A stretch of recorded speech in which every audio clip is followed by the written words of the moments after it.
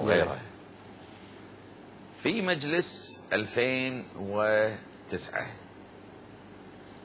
آه لما كان هناك استجواب لسمو رئيس مجلس الوزراء انذاك الشيخ ناصر المحمد نعم. تشكلت كتلة. سموا نفسهم إلا الدستور. وأذكر إلى الآن كانت اجتماعاتهم في موقع اللجنة المالية اللي كنت أنا رأسها فكان لازم يأخذون إذني حتى يسوون اجتماعاتهم. يجتمعون ويقولون إذا أحد جرب صوب الدستور. هذا معناته لا يريد الخير للبلد وهذا إنسان متحامل على الكويت. يا سبحان الله وتأتي الأيام. زين. مجموعة من مجموعة إلا الدستور هم يطالبون بإقصاء الدستور. القضية مو ان تعديل أنا ما أشوف هذا تعديل. يعني شوف واحدة من الأشياء.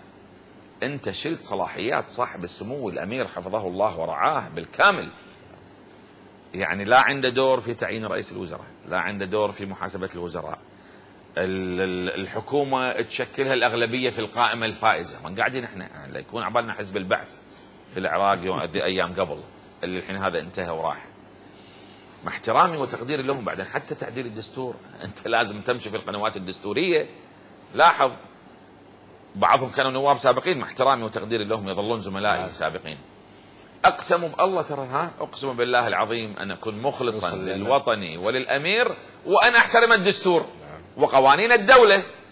أنت ما تقدر تغير ترى دستور إلا لما يكون عندك ثلثين المجلس نعم. وموافقة صاحب السمو الأمير. أنت ما تبي بكل هذا ما تبي تبي تدش على طول بالتنقيح. ما يصير. ولذلك مع احترامي وتقديري للإخوان الأفاضل لكن يبقى لا نستطيع أن نقدم على شيء مخالف للدستور ومخالف لل